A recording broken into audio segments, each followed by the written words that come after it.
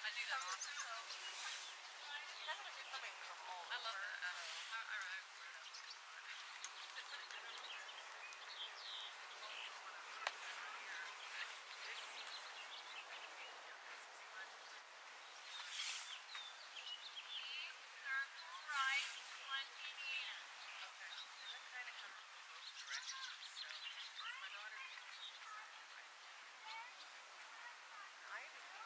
to write. Really